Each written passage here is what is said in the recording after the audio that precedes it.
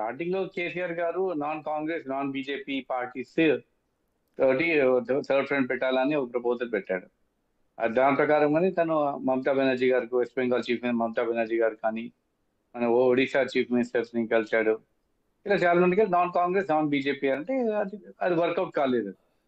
Subsequently తను ఏం చేశాడు లేదు ఇది వర్కౌట్ కాలేదు ఇక సొంతంగా బీఆర్ఎస్ పార్టీయే నేను నేషనల్ లెవెల్లో నేనే కంటిన్యూ చేస్తాను. బీఆర్ఎస్ పార్టీయే ప్రచారం చేస్తాను నేను ఎవరితో లింక్ పెట్టుకోను అన్నట్టు ప్రచారం. ఎందుకంటే వేరే పార్టీస్ నుంచి పెద్ద రెస్పాన్స్ రాలేదు డిఎంకే కానీ తృణమూల్ కాంగ్రెస్ కానీ ఈవెన్ ఇతను ఒరిస్సా చీఫ్ మినిస్టర్ కూడా.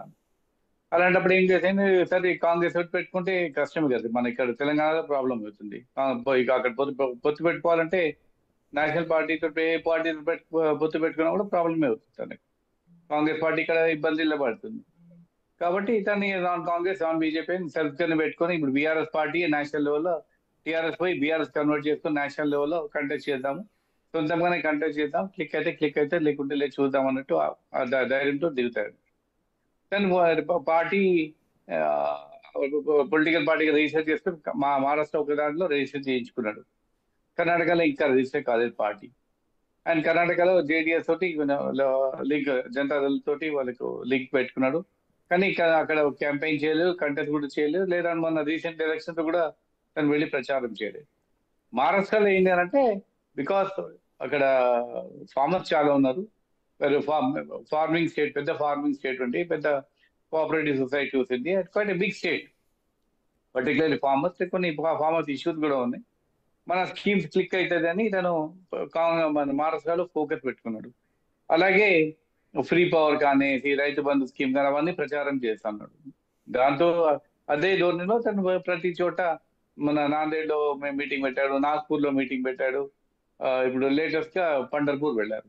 కానీ ఒకటి ఇంట్రెస్టింగ్ ఫ్యాక్టర్ ఏంటంటే మన ముఖ్యమంత్రి గారు మొదటి నుంచి టెంపుల్స్ చూసి చూస్తున్నారు. మొదట టెంపుల్ దర్శనం చేసుకోవాలి తర్వాత పొలిటికల్ యాక్టివిటీ మనకు కల్కా కాళీఘాట్ కూడా అలాగే వెళ్ళారు కోల్కతాకి. టెంపుల్ దర్శనం కోసం వెళ్ళాడు తను వెళ్ళి మమతా మధ్యాన్ని కలిశాడు. ఇక జగన్నాథ్ స్వామి ఒడిశాలో వెళ్ళాడు మళ్ళీ వెళ్ళి తన మా మన ఒడిశా సీఎం గారిని కలిసేశాడు. అలాగే మన తమిళనాడు వెళ్ళాడు తమిళనాడు రంగనాథ స్వామి టెంపుల్ వెళ్ళేసి మన డిఎంకేని కలిశాడు. సో టెంపుల్ ప్లస్ ఈ పాలిటిక్స్ రెండు కలుపుకొని పోతా ఉన్నట్టు సేమ్ పండర్పూర్ కూడా లేటెస్ట్ పండర్పూర్ తులజాపూర్ కేసు. కానీ ఇక్కడ వేరే ఏ నేషనల్ లీడర్ లేరు కానీ బట్ టెంపుల్ దర్శనం చేసుకున్నట్టు చేసి అట్లా అట్ ద సేమ్ టైం ఈయన also at public meeting address చేశాడు. కాబట్టి మొన్న అపోజిషన్ పార్టీ మీటింగ్లో పార్టిసిపేట్ చేయలేదు అన్నాక డౌట్ వచ్చింది అందరికి. ఏంటంటే అరే తను మనకు సపోర్ట్ ఇవ్వటం లేదు అని. అంటే తన ఇబ్బంది తనకే ఉంది. తను కాంగ్రెస్ వెళ్ళాలనే వెళ్ళాలంటే కష్టమే. అట్ ద సేమ్ టైం వేరే ఇతర పార్టీ కూడా కాంగ్రెస్ పార్టీని ఆబ్జెక్షన్ చేస్తున్నారు. మమతా బెనర్జీ గారు ఏమంటున్నారు? మరి కాంగ్రెస్ పార్టీకి డెఫినెట్ సపోర్ట్ చేశారు కానీ వాళ్ళు మా వెస్ట్ బెంగాల్లో రావద్దు. Same thing with DMK conditions అవే. కానీ మీరు ఇందాక అన్నట్టుగా బీజేపీ అంటే B BRS BJP B team అనేటువంటి ఒక చర్చ కావచ్చు లేకుంటే ఒక ఇది ఎందుకు పదే పదే వస్తుందంటానికి ఇటీవల మీరు ఇందాక చెప్పినట్టుగా బీహార్లో జరిగిన విపక్షాల సమావేశానికి దూరంగా ఉండటం కావచ్చు. లేదు కేటీఆర్ కేటీఆర్ ఇటీవల కాలంలో నిన్నగాక మొన్న ఢిల్లీ పోయి కేంద్ర మంత్రులు వరుసపెట్టి కలవటం కావచ్చు. లేదంటే నాగపూర్లో పదిహేను పదిహేను రోజుల క్రితం నాగపూర్లో కేసీఆర్ గారు మోడీ నాకు మంచి దోస్తు ఆయనతో చాలా విషయాలు మేము మాట్లాడుకుని ఎవరు. చెప్పారు అనేటువంటి మీడియా మీడియా ముఖంగా చెప్పినటువంటి కామెంట్. కావచ్చు ఇవే కారణం అనుకోవాలా? లేకుంటే రాజకీయ దురుద్దేశంతో చేస్తున్న విమర్శలు అనుకోవాలా? లేదు డెఫినెట్గా ఉండొచ్చు. అంటే ఇప్పుడు ఇంకోటి కూడా ఏంటంటే కేసీఆర్ గారు ఇక్కడ మన ఎమ్మెల్యేస్ మీద చాలా మంది మీద సిబిఐ కేసెస్ ఈడీ కేసెస్ ఉన్నాయి. కానీ కవిత గారి మీద కేసెస్ ఉన్నాయి. ఇవన్నీ చూసుకుంటే ప్రాబ్లీ ఇది ఇది this could also be one of the reasons ఎందుకు అనవసరంగా మోడీ గారితో పెట్టుకోవాలి? ఇవన్నీ పంచాలి. ఎందుకంటే మోడీ ఎన్నిసార్లు ఇక్కడ వచ్చినా తను వెళ్ళి కలవలేదు. యూనియన్ మినిస్టర్స్ ఉన్నా కూడా ఇప్పుడు ఏ యూనియన్ మినిస్టర్ని కలవలేదు ఎవరు యూనివర్సిటీ ఇన్వైట్ చేయలేదు. ఇక సడన్గా ఇది అబౌట్ ఎందుకు అని అంటే ఇంకోటి జనరల్ పబ్లిక్లో కూడా నేషనల్ లెవెల్ పర్సెప్షన్ ఏంటి అంటే next election two thousand twenty four ఎలక్షన్స్లో కూడా మళ్ళీ మోడీయే ప్రధానమంత్రి అవుతారు. మోడీయే భారతీయ జనతా పార్టీ గెలుస్తుందని మాత్రం ఒకటి జనరల్లీ ప్రచారం నడుస్తూ ఉంది. సేమ్ థింగ్ స్టేట్లో కూడా మళ్ళీ టీఆర్ఎస్ పవర్లో వస్తుంది అని అదొక ప్రచారం జరుగుతుంది. రేపు పొద్దున రావచ్చు రాకపోవచ్చు కానీ ఆ జనరల్ పబ్లిక్ పర్సెప్షన్ మాత్రం అది ఉంది.